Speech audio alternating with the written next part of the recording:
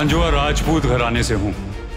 और मेरे खानदान की रगों में हमेशा ही फौजी खून रहा है। उस वक्त मैं हिंदुस्तान को एक अंग्रेज़ की नज़र से देखता था। अंग्रेज़ों का नमक खाया हमने उसे खारिज कर दूँ मैं? लेकिन जब नज़र साफ़ हुई तो मेरी समझ में आ गया आज़ादी के लिए लड़ने वाली अगर कोई फौज है तो उसका नाम है आज़ाद हिंद फौज।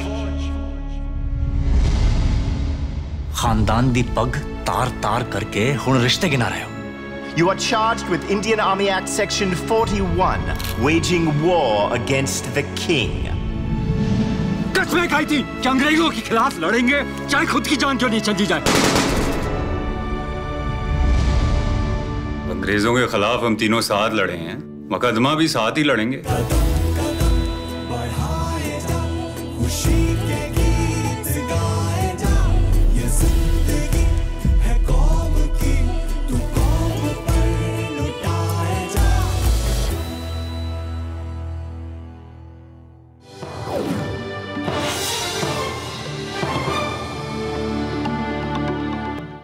Hello and a warm welcome to another edition of To the Point. Just a few months left for Karnataka to go to polls, but the million dollar question is can Congress retain the last big bastion of this state? Joining me now, a very special guest, Chief Minister of Karnataka, Mr. Siddaramaiah. Welcome, sir, and to the point. Thank you. Uh, to begin with you, with the latest decision which your uh, government has taken, that uh, a nine member committee has been formed and you are thinking of a separate flag on Karnataka. Uh, what is the real reason behind it? See, we have constituted a committee. There was a demand from the Kannada activists and others to have a flag of uh, sta- state flag. We are in a federal uh, state. If the state gets the its own flag, it doesn't mean that it affects the federal structure of the country. Because we see, for example, we are having a state anthem in Karnataka. In other states also, I don't know whether they are having state anthems or not. In Karnataka, we are having a state anthem. There is a national anthem. Okay. So, why are one section of the people saying that having a separate flag, it somewhere uh, impacts the unity and integrity of the country? No, it does not affect the unity or the sovereignty of the country. The sovereignty and unity of the country is there, it remains there. It is nothing to do with that. Where is the provision in the constitution which Okay. prohibits the state should not have a flag of their own? But uh, there are certain people who are saying, like, for example, J&K is one state which has a flag of its own, and that is because of the special provision of Article 370. But the, the people are also questioning the timing, that this decision is coming at a time when just few months are left for the poll. Are you trying to appease the Kannada voices? The and is committee that constituted to look into the matter that we should have a flag or not, a separate flag or not, is nothing to do with the coming assembly election. Okay. Because uh, about uh, one month back or so, the committee was constituted, not keeping an eye on the elections. It's nothing to do with the elections. but people are trying to give it a political No, color. they are giving, they are looking at the thing at, from political angle. Okay. It's not correct. Only BJP people are looking this from political angle. But how will how will you silence those voices which are saying that when India believes in a pluralistic society, here you have a separate flag for a separate state, and it's it's more about individualism. Would you would you uh, agree with this It kind is of an not assessment? individualism. Okay. We believe in plural society. We believe in pluralistic uh, system. We are we believe in uh, secularism. We believe in uh, one nation and all that. See, it's a federal. We are in a federal state. So what See, happens? There, is, there are three lists in the constitution. There is a central list, there is a concurrent list, there is a state list. And no, there is no provision in the constitution which prohibits that states should not have their own flag. But that is the right. constitutional provision. But- but uh, we have not yet taken any decision on that. We have just constituted a committee. The committee has to give a report and we will look into it constitutionally, legally, and all that. Task. But all that, supposing we'll if take this, a decision on right, that. but if this committee which has been formed comes out with a report and which does give a legal sanctity to your decision, to the decision which the government has taken, Hmm. so don't you think that Karnataka government will set a precedent where all other apparently 26 states will start coming up with their own flags and they will say, come on, let's have Even if we take a decision to have our own flag, right, it does not violate any provision of the constitution. okay. It does not violate any provision of the constitution. Okay. Okay. Uh, fair enough. Uh, now let's come uh, talk to the talk about the politics of Karnataka. Uh, people are saying that Siddaramaiah ji is a man who is under tremendous pressure at the moment.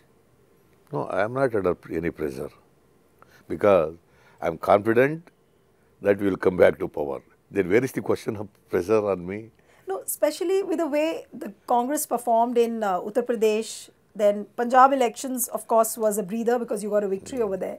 But uh, don't you think that the pressure now on you is is rising day by day because Congress expects a lot. Karnataka is a big state. You are the malik of the state, and Congress is expecting all expectations are pinned on you. So don't you feel that pressure at the moment? See, Karnataka cannot be compared with uh, Uttar Pradesh. Okay. In Uttar Pradesh election, by state election, the BJP played a communal card. They were, they were succeeded in polarizing the votes on communal card. But here in Karnataka, it is, it, they can't suc succeed because it is a land of Basavana. 850 years ago, the seeds of uh, social justice, equity were sold. It is not possible here. The BJP people can't polarize the votes here. But in the land of Basavana, we also hear uh, echoes of uh, religion politics echoed by BJP. Uh, sometimes within the Congress camps as well, we've, we've heard voices of uh, religion No, no, politics are, coming out. They, they are trying to disturb the harmony in the society Okay. by, by di- divisive forces and playing caste card, playing religion card and all that. They wanted to divide the people on caste and religion. But- but it is not, they have not succeeded so far in Karnataka. But is Congress also forced to play the religion card in No, Karnataka? No, we are not playing. We are totally committed to secularism. We are not playing any religion card or caste card. We are not playing. We are Uh, totally against it. Right. But in, in if I quote you, uh, one of the statements which you made uh, recently, and you said that I am Siddha Rama, I am a Hindu, BJP workers are not the only Hindu.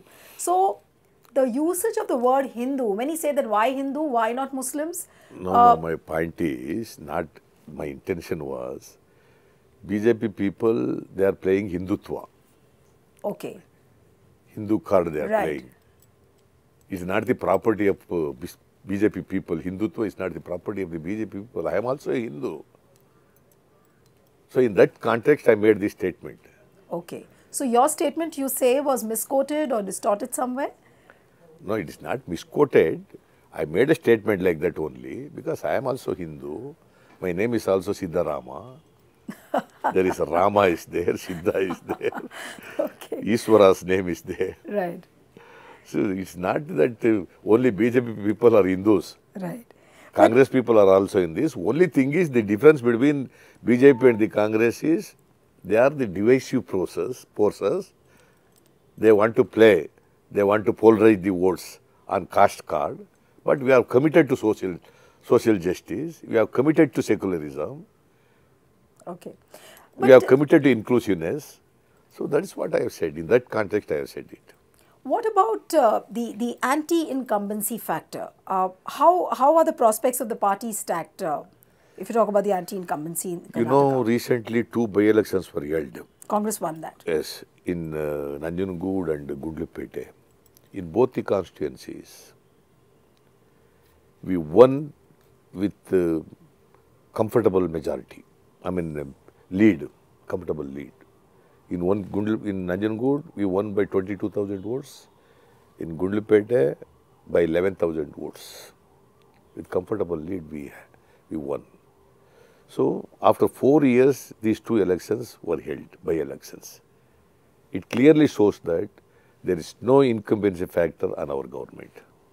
So are you banking on the on the youth population because we were reading i mean there were many reports which said that the membership of uh, the youth congress members have really gone up significantly from 6 lakhs to about 19 lakhs in the last 3 years. So are you banking on the youth uh, votes?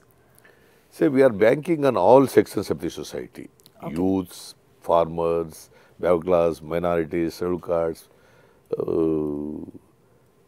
all religions. We are not going to divide the people like BJP people are doing.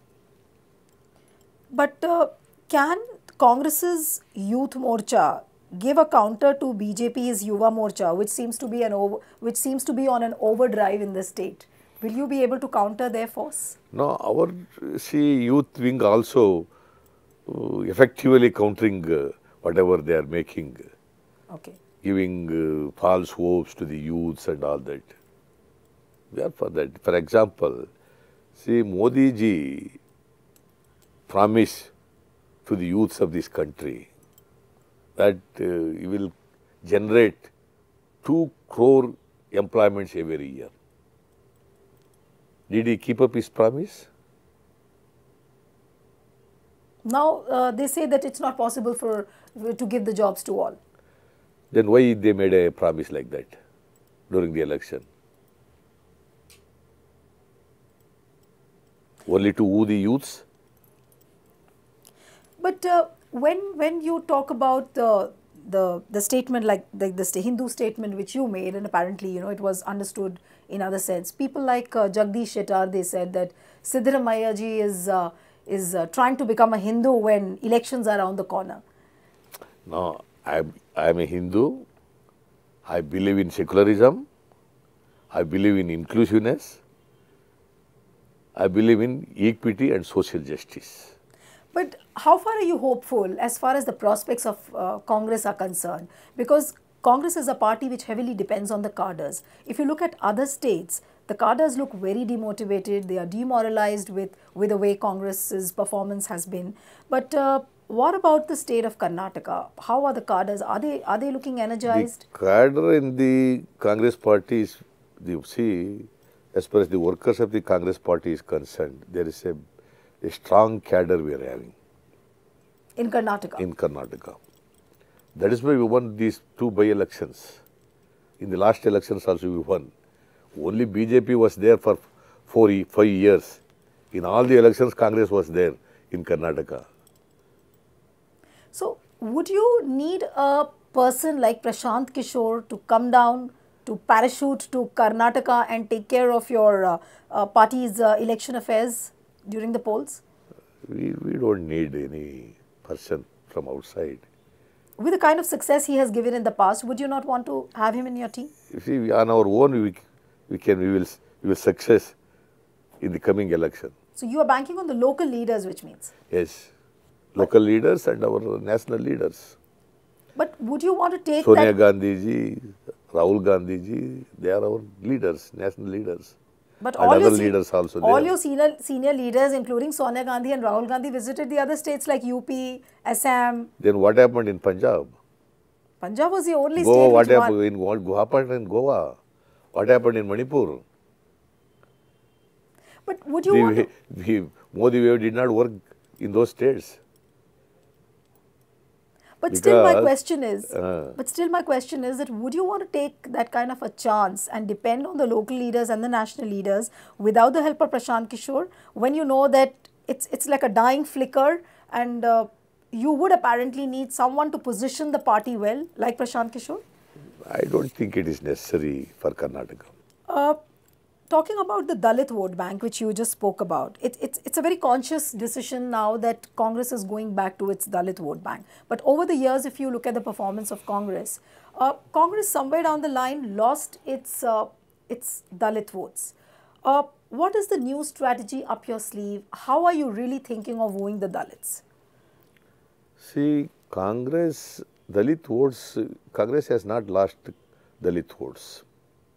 More or less, Dalit votes are intact in Congress party. But the social studies say something else. No. In the recent elections also, we have, we saw, see, there is a total intact of scheduled castes, backward class, minorities, and all poor, poorer sections of the society. They all voted Congress party, including major communities. They voted Congress party.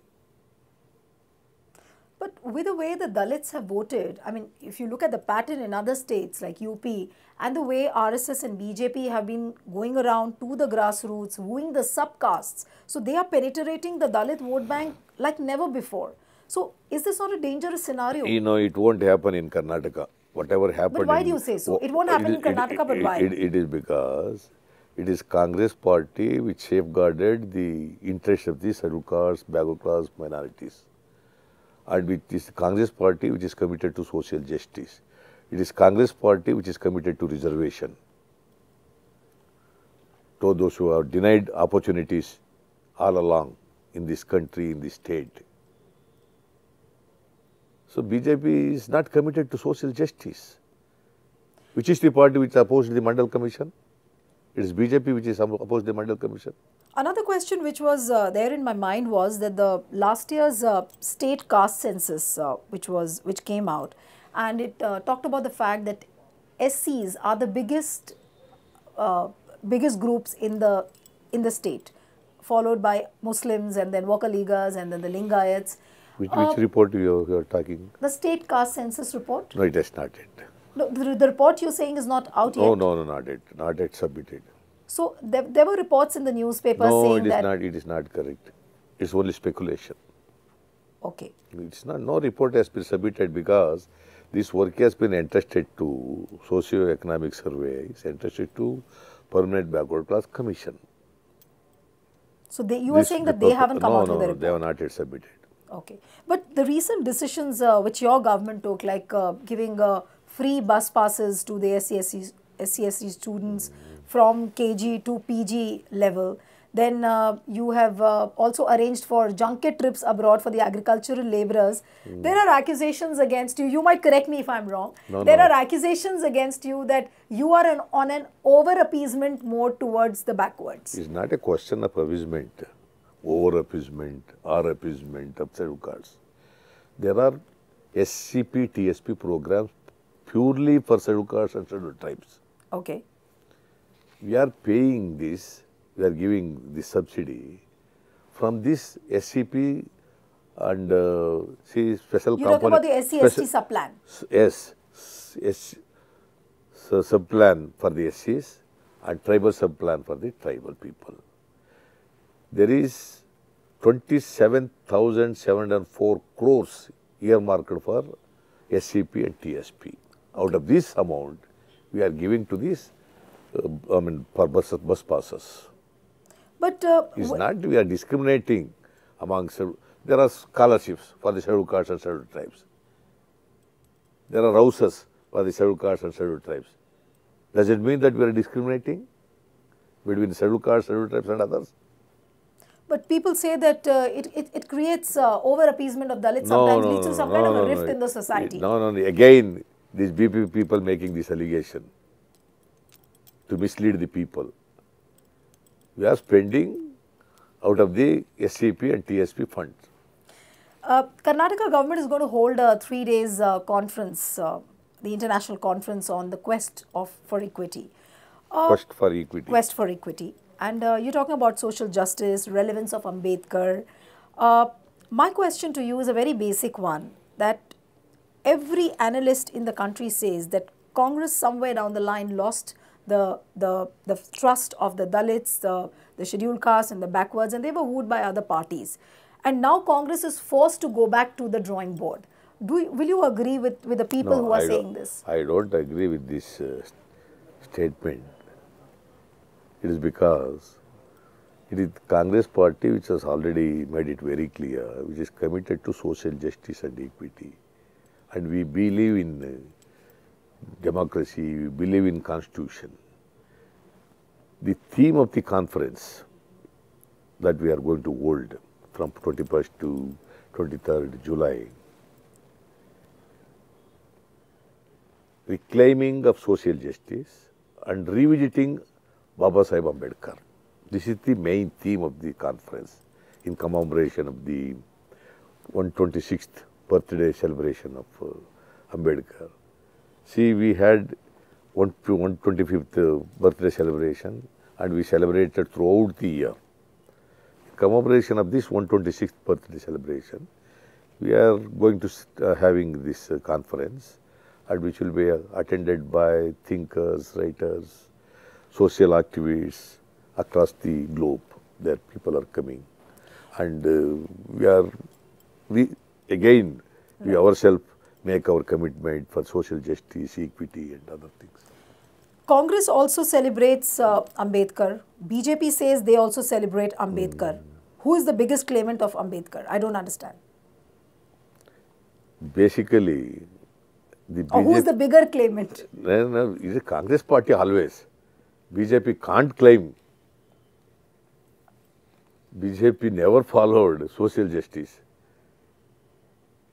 They are not committed to social justice. If you look at the look into the history, there it is the BJP people who opposed Mandal Commission report. It is the BJP people who opposed reservation in higher learning institutions. Here in Karnataka also it is the BJP people who opposed reservation for women, um, 73rd and 74th amendment to the constitution which was brought by uh, Rajiv Gandhi. The BJP says they believe in Sabka Saath, Sabka Vikas. They will not uh, uh, make people beggars. They will enable them. They will empower them with the with the schemes which are launched by the government. It is only a slogan. There is no commitment to it. Sabka Saath, Sabka Vikas means saying minus minority. Can you construe it as Sabka Saath? If the minorities are not there, if the Dalits are not there, how how does your party, or rather you, when you go down to the people in in public, how do you make how do you really convince them? Because uh, there is a leadership like Narendra Modi which goes down, meets people, he convinces them.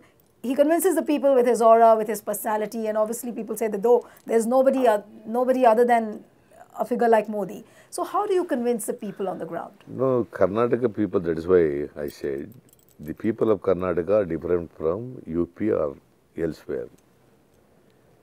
Here, the people, they understood our government, they understood our sincerity, they understood our commitment, they understood our programs, and we have fulfilled nine, more than 95% of the promises we have made during 2013 assembly election.